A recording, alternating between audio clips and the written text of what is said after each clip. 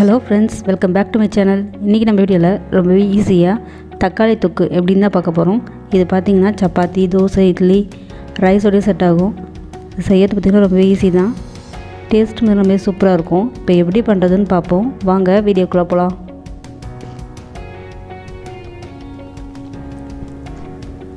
ஃபஸ்ட்டில் நம்ம டிஷ்ஷுக்கு தேவையான பொருளை எடுத்து வச்சுப்போம்.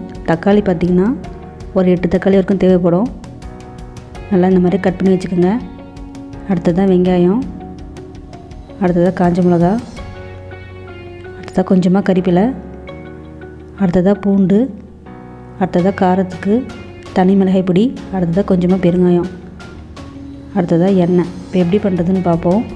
ஒரு பேன் வச்சுட்டு பேன் நல்லா ஹீட் ஆன பிறகு ஆயில் வந்து ஒரு கால் கப்பு இருக்கும் ஊற்றிக்கோங்க இந்த டிஷ்ஷுக்கு பார்த்திங்கன்னா ஆயில் கொஞ்சம் அதிகமாக இருந்தால் தான் நல்லாயிருக்கும் அடுத்ததாக அது கூடவே கடுகு வந்து ஒரு ஒரு டீஸ்பூன்.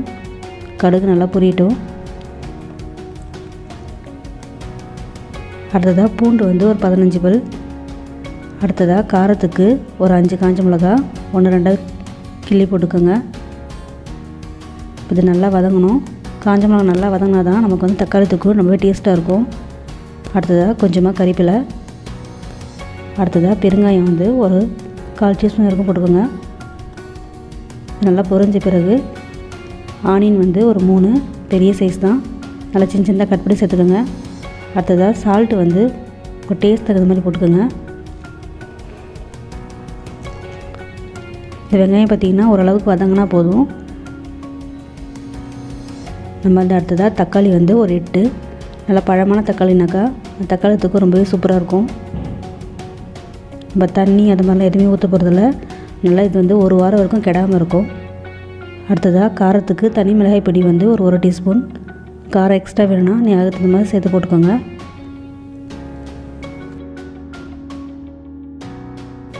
தக்காளி பார்த்திங்கன்னா நல்லா இந்த அளவுக்கு வதங்கின பிறகு நம்ம வந்து மூடி போட்டு இந்த வெங்காய தக்காளி நல்லா வேக வச்சுப்போம்.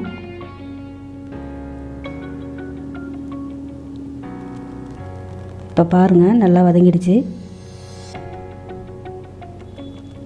இப்போ அடுத்தது நம்ம இருக்கிற காஞ்ச மிளகாலாம் நம்ம பிளேட்டில் தனியாக எடுத்து வச்சுப்போம். இப்போ இது பார்த்திங்கன்னா நல்லா மேஷ் பண்ண போகிறோம் நம்ம வந்து காஞ்ச மிளகாவும் சேர்த்து மேஷ் பண்ணுறோன்னா காரம் ஓவராக இருக்கும்.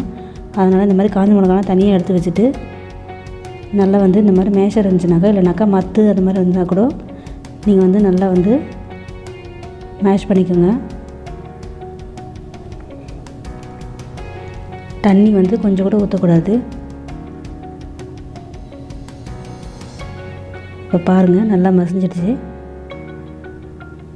இப்போ நல்லா இந்த அளவுக்கு வதங்கின பிறகு நம்ம வந்து காஞ்ச மிளகா வந்து அது கூடவே போட்டுடலாம்.